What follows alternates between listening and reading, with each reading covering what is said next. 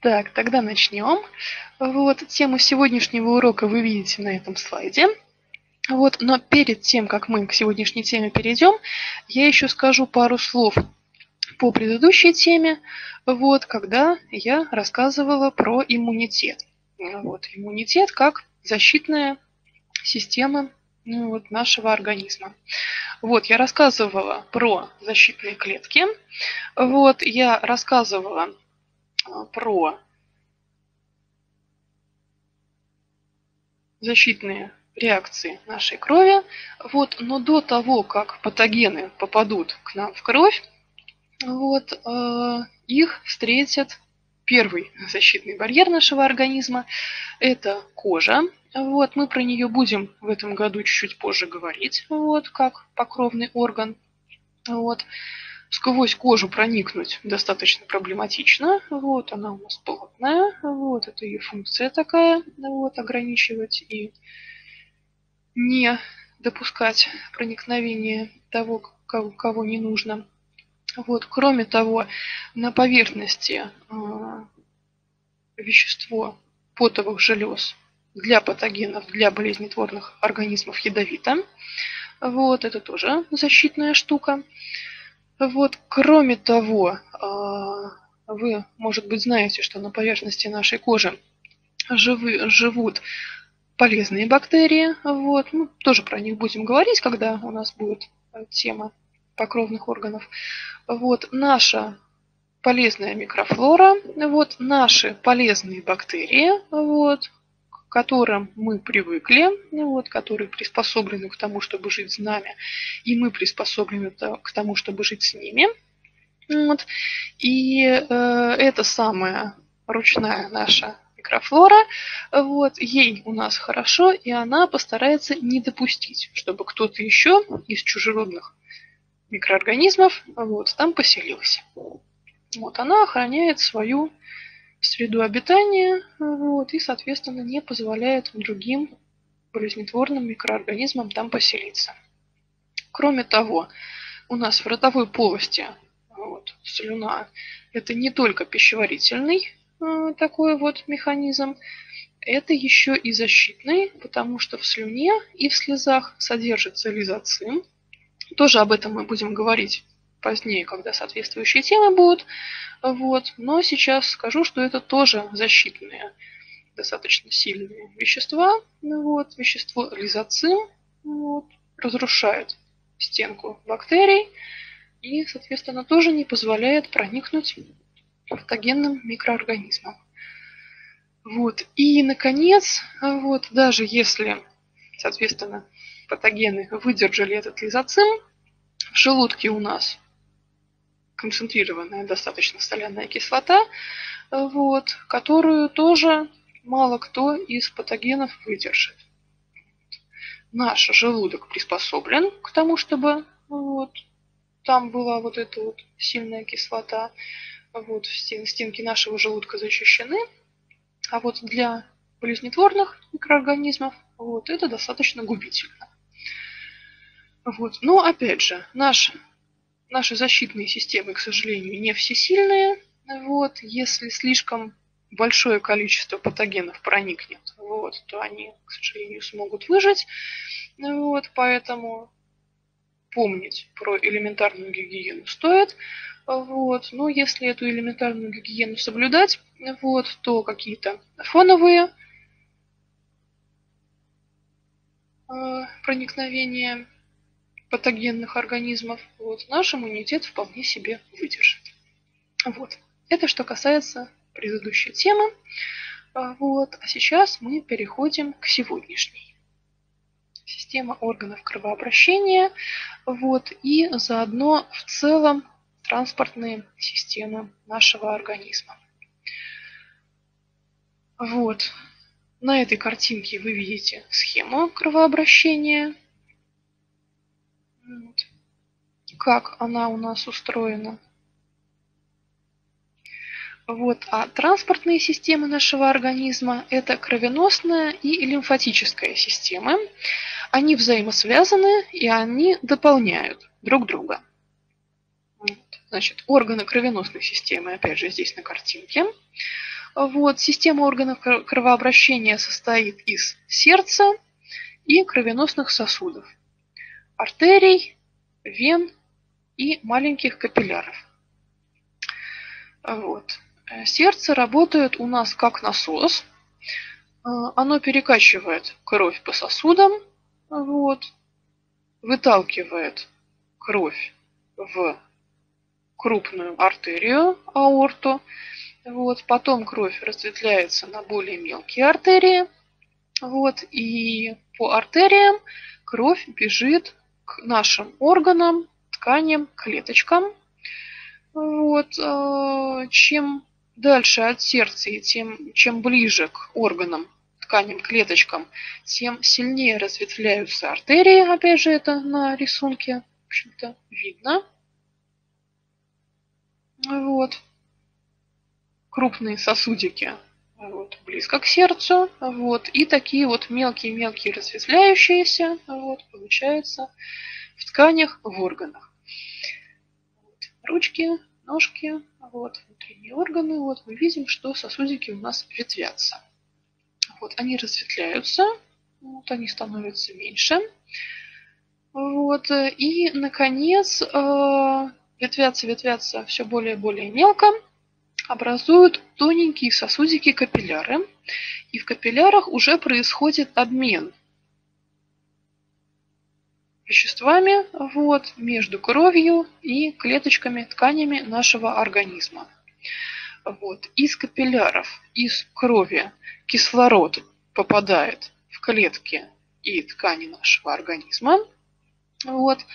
Э, эти же клетки и ткани отдают крови углекислый газ переработанный, вот. Ну и еще, соответственно, другие вещества, ну, вот, которые больше не нужны. Вот, и дальше кровь начинает течь по венозным капиллярам и двигается уже от вот этих вот клеточек, от тканей к сердцу. Вот. Они уже не ветвятся, они наоборот собираются в более крупные сосуды. Вот это тоже видно на картинке. Вот, синенькие, синеньким цветом показаны вены, красненьким цветом показаны артерии на этом вот рисунке на слайде. И вены, вот, опять же, сливаются из мелких в более крупные, возвращаются к сердцу. Вот. Дальше идет, соответственно, следующий круг кровообращения от сердца, вот эта вот венозная кровь, в которой мало кислорода и много углекислого газа, она поступает в легкие. Наши легкие, органы дыхательной системы, вот, про которые мы тоже поговорим в этом году, через несколько уроков. Вот. А, опять же, в легких сосудики ветвятся, вот, опять же образуют капиллярчики, и в легких происходит опять же газообмен, вот, только уже кровь отдает углекислый газ, который мы выдыхаем, и забирает кислород, который мы вдохнули. Кровь снова оказывается насыщенной кислородом. Из легких вот, она возвращается обратно к сердцу. Вот, и снова кровь, насыщенная кислородом, готова идти к нашим тканям, к нашим органам, к нашим клеточкам. Так вот циркулирует, опять же, кровь в организме. Вот, кровеносная система человека, вот, как и, в общем-то, всех позвоночных животных, замкнутая. Вот, то есть циркулирует, опять же, кровь именно по сосудикам. Она из сердца не выливается просто так в полость нашего тела. Вот. Как у примитивных, низкоорганизованных других животных. Вот. И между кровью и клетками тела вот, обычно имеется барьер такой, стенка кровеносного сосуда. Вот. Я еще уточню, что артерия вот. Это сосуды, которые несут кровь от сердца, а вены – сосуды, которые несут кровь к сердцу.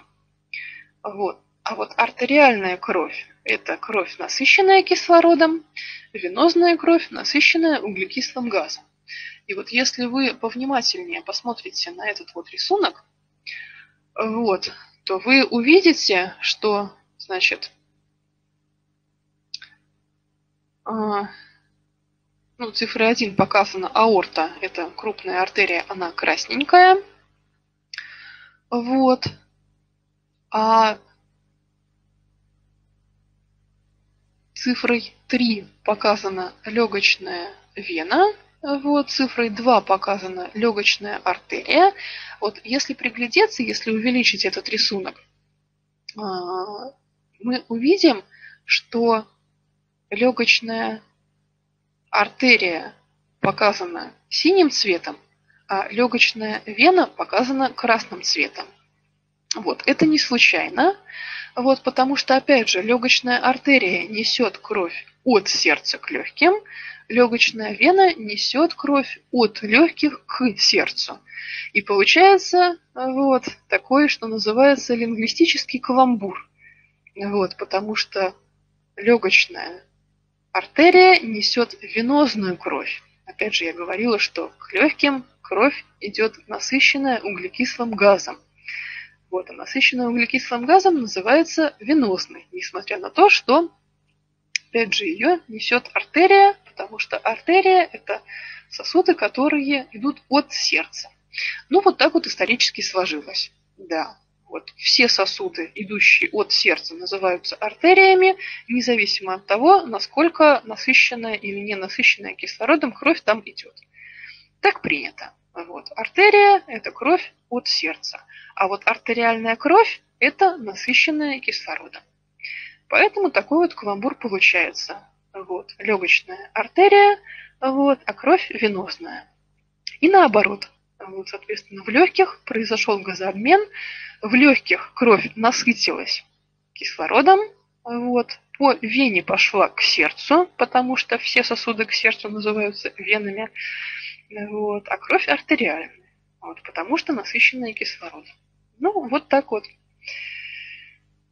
Вот в науке бывают э, такие э, не совсем корректные э, термины, вот, и это, наверное, тот случай, где легко запутаться. Вот, но нам с вами самое главное, вот, что опять же от сердца вот, кровь, насыщенная кислородом, идет ко всем-всем-всем органам, тканям, клеточкам, опять же, отдает кислород, забирает углекислый газ, прибегает обратно в сердце, вот, потом из сердца идет в легкие, в легких отдает углекислый газ, насыщается кислородом, возвращается в сердце. Круг замкнулся. Точнее, два круга. Вот говорят, что, опять же, у человека, у позвоночных животных у всех два круга кровообращения. Один круг называется большой, вот, потому что от сердца ко всем органам, вот, большой круг, большой путь. Вот, это кровь, насыщенная кислородом. Вот. Круг начинается в крупной артерии аорте, вот, и завершается в вене, когда, опять же, кровь вернулась обратно в сердце. Это большой круг. И малый круг кровообращения в легких, вот, когда, соответственно, объединенная бескислородная кровь, вот, побежала в легкие, углекислый газ отдала, вот, кислород забрала, вернулась обратно в сердце для того, чтобы бежать по большому кругу. Вот. В сердце из легких вернулась, малый круг кровообращения замкнулся. Вот. Большой круг кровообращения до органов, вот, малый круг кровообращения до легких. Это что касается, опять же, циркуляции крови.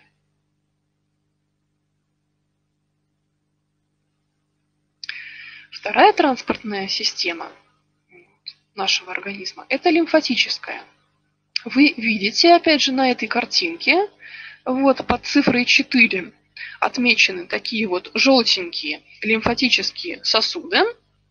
Вот, они собирают лимфу тоже от наших клеточек, от наших тканей. Вот, и э, в лимфе, э, в лимфатических сосудах, в лимфатических узлах вот, э, жидкость нашего организма очищается от, опять же, болезнетворных патогенов, вот, болезнетворных микроорганизмов. Вот. И впадает в итоге, мы видим с вами тоже на этой рисунке, если проследим за вот этим вот желтеньким тяжиком, вот этот тяж э, на рисунке расположен справа, вот отмечен цифрой 4, вот, и впадает в итоге в вену. А на этой картинке мы посмотрим поподробнее.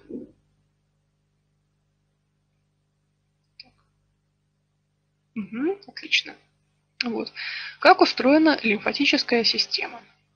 Вот, мы с вами на прошлом уроке уже говорили, что в принципе э, кровь, лимфа и тканевая жидкость друг с другом связаны, вот, и образуют, опять же, э, внутреннюю среду нашего организма, вот, и они друг с другом взаимосвязаны и циркулируют вместе. По сути, когда кровь находится в кровеносном сосуде, когда жидкость находится в кровеносном сосуде, она называется кровью. Сквозь стенки капилляров именно сама жидкость, сама плазма крови может выходить вот, и подходить к нашим клеточкам когда вот эта вот плазма крови, когда жидкость э, сквозь стенки капилляров выходит, соответственно, из кровеносных сосудов, она начинает называться тканевой жидкостью. Вот, потому что кровь у нас внутри сосудиков, вот, а та жидкость, которая вышла вовне, получается, ну, точнее, внутрь нашего организма, вот, которая омывает клетки ткани, вот, это внутренняя, получается, среда, вот, это тканевая жидкость. Вот, она вошла обратно кровеносный сосудик, она снова стала частью крови. Вот. А, кроме того, а, она, эта тканевая жидкость, может всосаться в лимфатический капилляр, вот, в капилляр лимфатической системы, и она будет называться лимфой. Вот так вот, опять же, наши жидкости, жидкости нашей внутренней среды, о которых мы с вами говорили на прошлом уроке, вот так вот они циркулируют, вот так вот они сообщаются друг с другом. А в целом, в целом это вот жидкость нашей внутренней среды. Вот. И здесь, опять же, на этой картинке мы видим, как, вот, э, как устроена лимфатическая система. Вот. Мы видим, опять же, что в лимфатической системе есть такие вот узелки, вот называются лимфатические узлы. Наверняка про лимфатические узлы вы уже слышали. Вот, они у нас есть в подмышках, они у нас есть под глоткой, они много где есть, вот, собственно, на картинке они отмечены. Вот. В лимфатических узлах достаточно много защитных клеток организма, лимфоцитов, о которых мы с вами говорили в прошлый раз на прошлом уроке. Вот. И э, лимфа, проходя через эти лимфатические сосуды, вот, опять же, как я уже сказала, очищается от патогенов. Вот, потому что лимфоциты сканируют, так сказать, ее на предмет болезнетворных, чужеродных, вот, неподобающих веществ и организмов. Вот. И, соответственно, опять же, после того, как вот эта вот жидкость в составе лимфы очистилась вот, от всего патогенного, болезнетворного, вот, она впадает в вену и, опять же, идет, идет в сердце. И становится кровью, опять же. Лимфа, которая впадает в вену, вот, становится кровью, превращается в кровь. Вот. А, так, кроме того, вот. А, вопрос на сообразительность. Вот, посмотрите, пожалуйста, еще раз на эту картинку. Вот, как я уже сказала, вены здесь отмечены синим цветом, вот, артерии отмечены красным цветом.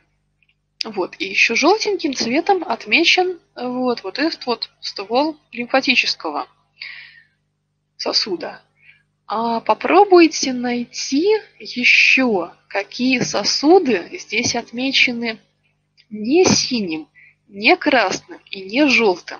Попробуйте найти.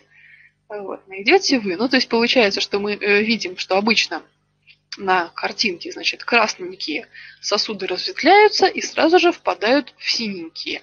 Вот. А синенькие, опять же, принимают на себя разветвленные красненькие. Но есть один сосуд другого цвета, фиолетового, вот, который вот выпадает из этой закономерности. Попробуйте э, вот, его найти и напишите, где он расположен. И, может быть, даже увидите, как он называется. Вот. Если не найдете, ничего страшного. Вот. Но такой вопрос на сообразительность и на внимательность. Сосудики не красные и не синие. Да, да, угу. в кишечнике. Правильно. Если точнее, то от пищеварительной системы до печени. Вот. А, это не сам кишечник, да, это сосуды. Вот. Это сосуды, вот, которые начинаются от органов пищеварительной системы. Правильно. Это называется система воротной вены. Вот. Мы видим, да, что, опять же, в кишечник приходят артерии, приходят капилляры с артериальной кровью, насыщенной кислородом, вот, а от кишечника а, забирают, соответственно, вот эти вот капилляры системы воротной вены – все те вещества, которые у нас в пищеварительной системе, соответственно, образовались и которые в нашу кровеносную систему всосались. Понятно, что э, из того, что к нам в пищеварительной системе э, у нас в пищеварительной системе оказалось, вот, там могут быть э, токсичные вещества, вот, могут быть ядовитые. И здесь, собственно, встает печень, вот, выходит на сцену, которая очищает, соответственно, э, кровь от токсичных, от ядовитых веществ. Вот, функция печени – детоксикация, разрушение токсичных веществ. Вот, получается, что перед тем, как венозная кровь от пищеварительной системы попадает в сердце, вот, и дальше, соответственно, в ткани, вот, она проходит очистку, очистку в печени. Система воротной вены. Вот, капиллярчики собрались в воротную вену от пищеварительной системы. Вот, воротная вена впадает в печень. Вот, в печени происходит очистка, вот, соответственно, детоксикация от ядовитых веществ, и уже очищенная кровь, как мы видим, впадает в нормальную вену, в синенькую, и впадает в сердце. Вот. Для чего это делается? А, печень, опять же, у нее функция детоксикации, вот, она к ядовитым веществам, что называется, привыкла. А вот в головной мозг эти самые ядовитые вещества допускать ни в коем случае нельзя. Получается, что уже очищенная кровь впадает в сердце, вот, потом она насыщается кислородом, и только после этого, без, ну, подразумевается, что без ядовитых веществ, она уже идет к тканям, к органам и в том числе к головному мозгу. Вот. Очищенная, без всяких токсинов. Опять же, это не означает, что печень может все-все-все-все-все вообще обезвредить. Вот у нас печень не всесильная, вот, но базовые вот такие вот фоновые обычные дозы токсичных веществ, вот, она выдержать может. Хотя, конечно, печени от этого не сладко, вот, потому что в печени очень много других функций, кроме детоксикации. Вот. И чем меньше ядовитых веществ мы будем ей давать, тем дольше она у нас прослужит. Тем дольше, соответственно, прослужит наш организм. Это что касается печени. Вот. Про печень мы тоже будем говорить подробнее, когда придем к пищеварительной системе. Вот. А дальше у нас с вами строение сосудиков. Значит, здесь на картинке мы видим, как устроены наши артерии, вены и капилляры. Вот. Артерия отмечена под буквой Б, вот, вена под буквой А и капиллярчик под буквой В. Мы видим, что капиллярчик – это самые-самые тонкие сосуды. Вот, у них очень тонкая стенка, буквально из одного слоя клеток. Вот. А, потому что в капиллярах кровь, соответственно, двигается очень медленно, и крови, опять же, точнее, плазме крови нужно из капилляров выходить. Вот. Кроме того, опять же, через капиллярчики вот, происходит газообмен. Поэтому капиллярчики у нас и должны быть такими полупроницаемыми для того, чтобы, ну, собственно, выполнять свою функцию. Вот. Под буквой «Б» у нас отмечена артерия. Вот. А, вы видите, что у нее очень-очень толстые стенки. Синим показано вот тот самый, э, тот самый однослойный э, такой вот э, одинарный слой клеток, вот, однослойный эпителий, вот, который есть и в капиллярах, и в артериях, и в венах. Вот. И красненьким таким вот толстым слоем вот, показана такая плотная оболочка артерий. Почему они такие толстые, почему они такие прочные? Вот тоже вопрос на сообразительность. Попробуйте ответить. Вот. Если не догадаетесь, не страшно. Вот. Но попробуйте сообразить, почему артерии у нас настолько толстые и гораздо толще, чем вены и капилляры. Кто ответит?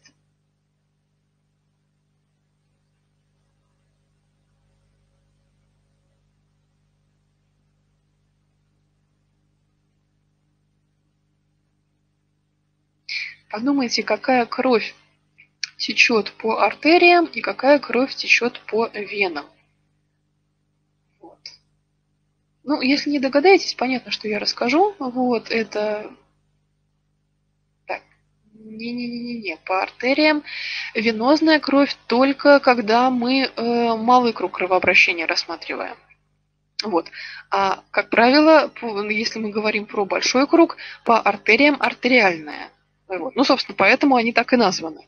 Вот, когда у нас большой круг кровообращения от сердца к органам, у нас по артериям течет артериальная кровь, насыщенная кислородом. Вот. А венозная, она только когда от сердца к легким. Там, да, там легочные артерии, вот, но венозная кровь. Вот.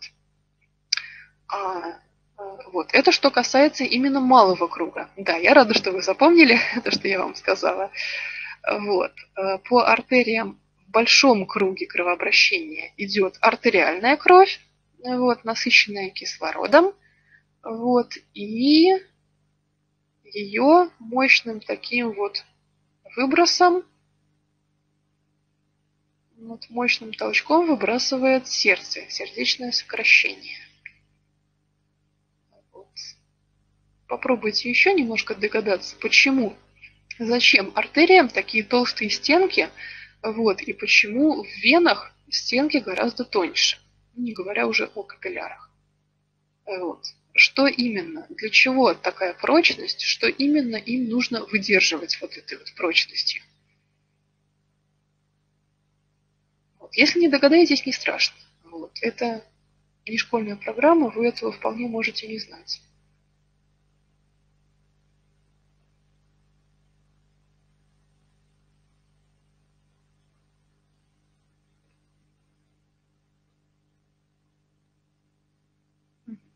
Ну, ладно. Вот, я тогда отвечу. Вот, отлично, отлично, отлично, я очень рада. Да, именно в артериях, в артериях кровь течет под большим давлением. Да, я рада, что успела ответить, пока я не произнесла. Вот, э, в артерии кровь выбрасывает сердце, вот, очень мощным сокращением, вот, и, собственно, вы помните, что мы можем измерять пульс, вот, пульсирующая кровь по артериям, вот, под очень большим давлением. Вот. Те самые 120 миллиметров штутного столба, вот, это сильное вот, давление, это давление крови на стенки сосудов, вот, и понятно, что сосуды вообще должны быть прочными, чтобы банально не порваться под таким напором. Вот. Именно поэтому, да, в артериях такие мощные стенки, вот, для того, чтобы, опять же, под таким напором не разорваться. В венах напор уже гораздо слабее, вот, потому что кровь в процессе тока вот, естественно, замедляется. Вот. В венах уже напор гораздо меньше, вот, а в капиллярах, вот, соответственно, в мелких-мелких-мелких сосудиках напора вообще почти что нет. Он весь теряется. Поэтому вот, артерии у нас самые-самые тоненькие, а артерии самые-самые толстые. Да, я рада, я очень рада, что ответили на вопрос, вот, потому что действительно на сообразительность, вот, и действительно такой непростой. Вот, значит, что касается вен, еще один момент.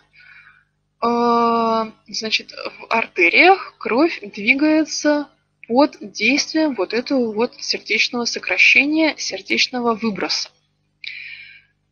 Вены у нас, опять же, к тому моменту, как... Давайте вернемся еще раз к той картинке.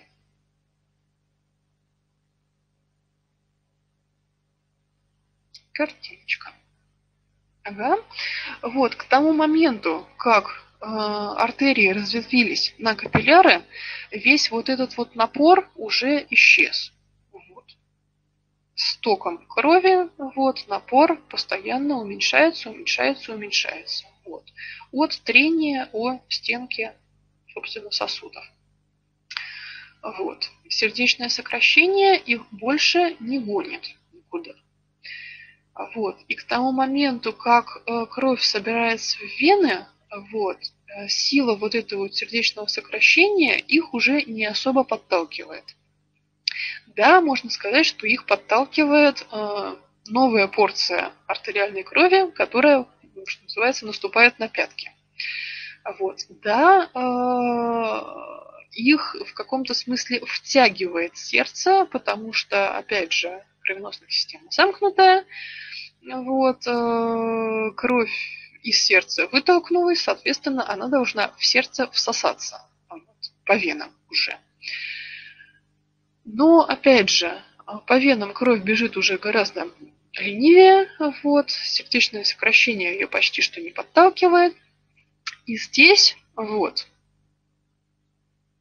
очень важные для того, чтобы кровь по венам все-таки бежала туда, куда надо, вот, а если опять же так мы еще раз вернемся к этой картинке,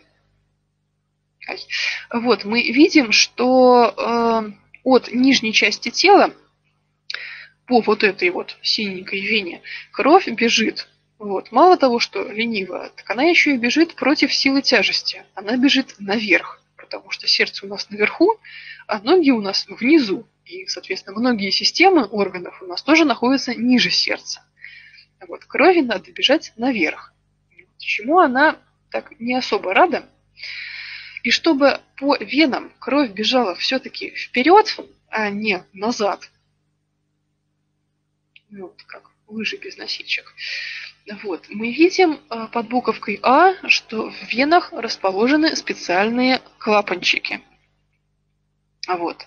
Получается, что эти клапаны могут пропускать кровь вперед, ну, то бишь наверх, соответственно. Вот. И не могут ее пускать назад, то есть вниз. Ну вот. Для того, чтобы по венам кровь все-таки текла туда, куда надо, а не туда, куда ей хочется силы тяжести. Вот, эта штука достаточно сильная. Вот, и вниз, в общем-то, кровь бежит довольно легче, нежели наверх. А получается, что если наши мышцы работают, вот, они кратковременно сосудики сдавливают. Важный момент, что полезно именно кратковременно. Вот. Мы про это поговорим еще чуть попозже сегодня. Вот. Кратковременно сдавливают мышцы наши сосудики, кровь проталкивается вперед. Мы это видим на картинке. Вот. Мышцы сжали, вот, кровь протолкнулась вперед. Отлично. Вот, мышцы расслабились, вот, кровь обратно выйти не может, вот, соответственно, ждет, пока ее подтолкнут сокращение мышц выше. И здесь очень важный момент, что эти самые сокращения мышечные должны быть обязательно кратковременными, вот, и сменяться э, расслаблением мышц. То есть мышцы, нормальная мышечная работа – это сократились, потом расслабились, сократились, расслабились. Как при ходьбе, предположим. Как во время выполнения какой-то активной работы. В спортзале, наконец. Вот.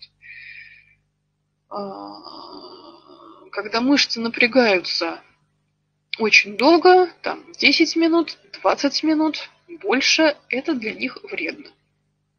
Поэтому, соответственно, полезно активно двигаться, вот, и вредно. Слышали, наверное, такое понятие, как статическая нагрузка на мышцы. Вот, это не полезно для мышц, и это очень не полезно для сосудов. Наша сидячая работа, к сожалению, это вижу вопрос, расскажу. Вот, э, это, собственно, не очень хорошо, вот, и для наших мышц, которые спазмируются, и начинают болеть, вот, и для наших сосудиков, вот, где затруднен кровоток. Вот, значит, вопрос, что будет? А вот смотрите, вот, мышцы сжаты, вот, уменьшается а, просвет сосудиков, и они в таком состоянии а, находятся долго-долго-долго. Ухудшается циркуляция крови. Вот. То есть она не нормально проталкивается вперед, вперед, вперед, вперед, вперед. Вот. А кровоток нормальный затруднен. Особенно по венам, особенно на ногах. Потому что, опять же, на ногах венам и так тяжело гнать кровь наверх. Вот, так им еще и постоянно спазмированные мышцы мешают. Им становится совсем грустно. Вот. А, мышцы, опять же, спазмируются. Это тоже для них не полезно, вот, потому что они, ну, мы с вами мышцы уже проходили, вот, сокращение расслабления, сокращение расслабления. Когда они постоянно сокращены, э, наступает такой момент, когда они уже не могут расслабиться. Вот, просто потому, что э, начинает, начинается сбой вот в этой вот системе сокращения и расслабления. Когда мышцы сокращены слишком сильно вот, и слишком долго, у них уже э, вылетает вот это вот свойство расслабиться. Они сами расслабиться не могут. Вот. Мышечный массаж вот, как раз для этого и предназначается, вот, чтобы, что называется, силком расслабить те мышцы, которые самостоятельно расслабиться уже не могут. Вот, просто потому, что они в таком вот авральном режиме привыкли работать, и у них вот все время сокращенный режим. Вот. Так что это не очень хорошо. Вот, опять же, это нехорошо для мышц, это нехорошо для наших сосудов. Вот, но это в конечном итоге нехорошо для нашего организма. Вот, поэтому вот. Понятно, что от сидящей работы нам, как правило, никуда не деться, вот, но устраивать себе э, хорошую физическую нагрузку в плане, опять же, когда мышцы сокращаются, расслабляются, сокращаются, расслабляются, сокращаются, расслабляются, это полезно и важно. Для того, чтобы мышцы могли выдерживать такую вот сидячую концентрированную статическую нагрузку. Для того, чтобы, э, соответственно, они не так сильно сдавливали вены. Для того, чтобы, наконец, мышцы были пронизаны сосудиками, вот, и мышечная ткань оставалась в нормальном физиологичном состоянии, даже когда мы долго сидим. Вот. Нормальная нагрузка на мышцы вот, с таким вот попеременным сокращением, расслаблением, сокращением, расслаблением, вот, она помогает нам справиться даже с сидячей статичной нагрузкой. Если мышцы хорошем состоянии, вот, если они пронизаны тоже капиллярчиками. Вот. Что касается сосудов. Так, да, я еще э, уточню, вспомнила, что, значит, несмотря на то, что на этой картинке, мы снова к ней возвращаемся, э, про систему воротной вены. Очень важный момент. Вот здесь показана воротная вена только от кишечника. Это не очень корректный рисунок, к сожалению, хотя он из учебника вот, из школьного учебника, на самом деле система воротной вены идет от э, нескольких, от разных органов пищеварительной системы. Вот, еще от желудка, еще от селезенки. Вот, но для простоты ее иногда рисуют только от кишечника. Вот, просто вы запомните, вот, что, соответственно, та самая воротная вена вот, идет из разных частей пищеварительной системы не только кишечника, но еще и других. Вот. Так, это лирическое отступление. Вот. А мы с вами рассматриваем подробнее дальше сердце. Вот. Сердце, как я уже сказала, у нас работает как насос –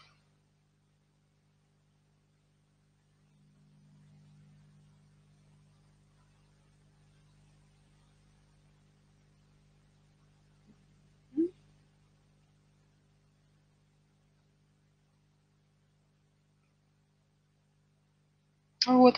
Само слово сердце вот, происходит от слова середина. Вот, оно у нас располагается ну, в общем и целом вот, по центру. Вот, немножечко, чуть-чуть оно смещено влево, вот, но, в общем-то, в основном, вот, в целом, оно расположено посерединке нашего организма. Вот, здесь показано, как вообще вот, наше сердце расположено в грудине, вот, под ребрами. Ребра, опять же, защищают его. Вот, мы с вами говорили уже, что функция костей не только опорно-двигательная, но и защитная. Вот, пожалуйста, классический пример. Вот, ребра такой, можно сказать, костяной, а, такая костяная оболочка, которая защищает вот, легкие и сердце от каких-то внутренних, внешних, точнее, повреждений. Вот, размеры сердца приблизительно равны размерам кулака. Вот, и так, на следующей картинке э, мы посмотрим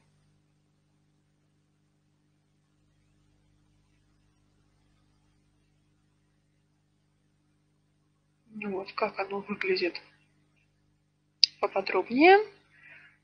Вот.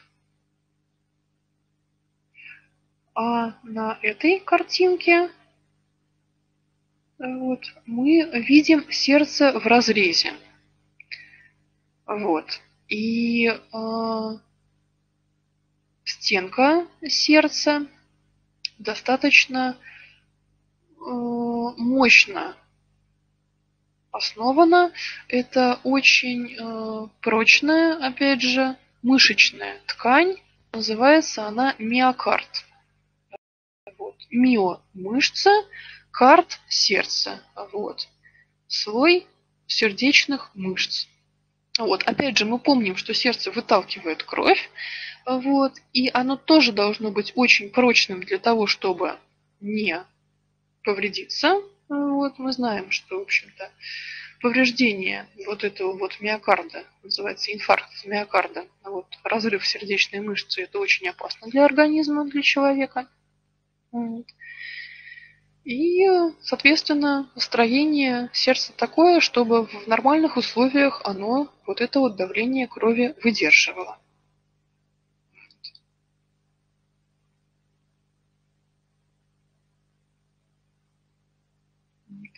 И сердце у нас состоит из четырех камер. Для того, чтобы оно могло вот эти вот два круга кровообращения, получается, организовать и вытолкнуть.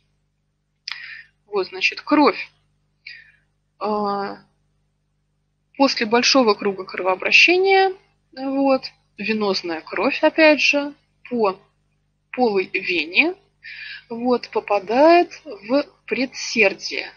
сердца.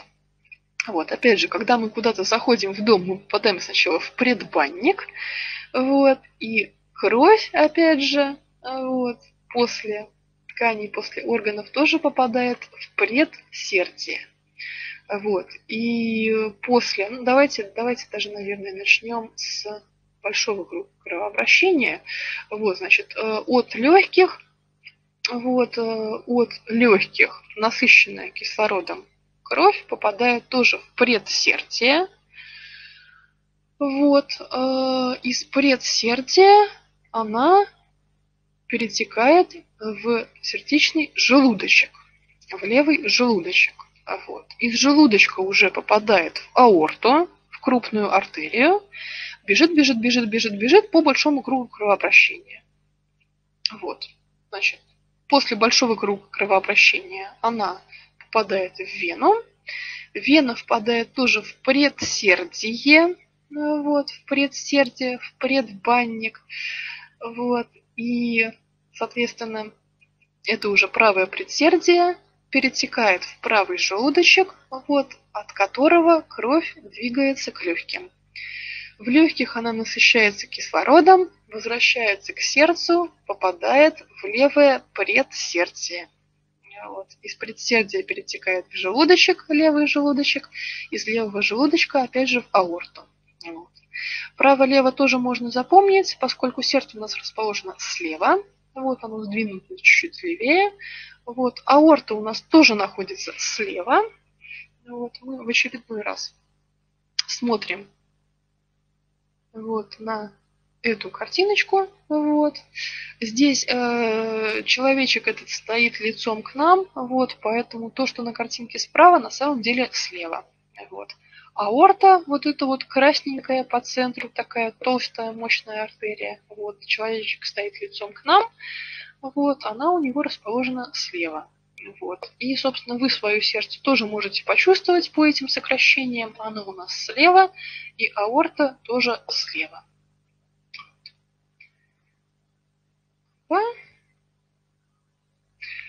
Вот, важный момент, что сердце тоже насыщается кровью. Вот, есть специальная а, для него венечная или коронарная артерия, которая опоясывает само по себе сердце. Вот, она отходит от аорты, вот, она питает кровью. Вот мы видим на этой картинке, что само по себе сердце тоже оплетено кровеносными сосудиками тоненькими, кровеносными капиллярчиками. Сердце тоже необходимо питать кровью, естественно. Потому что мышцы там работают, потому что им требуется очень много кислорода, питательных веществ. Вот, и питание сердца это вообще очень важная штука. Вот, из клинической смерти людей выводили, вот, оживляли им сердце как раз тем, что в аорту впрыскивали вот, мощные питательные вещества, которые попадали вот, именно в эту самую сердечную венечную коронарную артерию, вот, его питали, вот, и тогда сердце, которое уже останавливалось, вот, оживало, и, соответственно, человек из клинической смерти выходил. Поэтому венечная артерия или коронарная артерия, вот, артерия, которая питает сердце, это очень-очень важный сосудик. Так, ну и напоследок, вот, опыт итальянского ученого Анджела Мосса, вот, он уравновесил э, человека вот, на очень-очень чувствительных весах. Вот, это э, такая задачка на движение крови вот, по нашему организму. Вот. Получается, что, значит, живой человек, вот, он лежит на этих чувствительных весах, вот, не колеблется, вот, ни в одну сторону, ни в другую. Но когда вот этот вот итальянский врач предложил человеку, лежащему на весах, решить сложную задачку арифметическую, его голова стала опускаться вниз. Вот. Тоже попробуйте догадаться, почему. Вот. Что произошло, почему, соответственно, масса головы внезапно стала больше. Тоже вопрос на сообразительность. Вот. И, собственно, на этом мы закончим. Так, вижу, что печатаете. Да.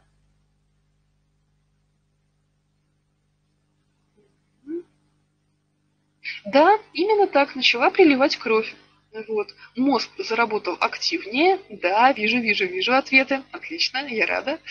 Вот, мозг. Мозг заработал активнее. Вот. Туда потребовалось повышенное количество кислорода и питательных веществ. Вот, кровоток заработал туда активнее. Кровь прилила, голова стала тяжелее. Вот. Это про, получается, движение, да, движение крови по нашему организму. Вот. Про кровь, про кровоток мы еще продолжим на следующем занятии. Вот сейчас нам пора уже заканчивать. Вот. Традиционно список использованных источников информации. И спасибо за внимание. Через неделю увидимся.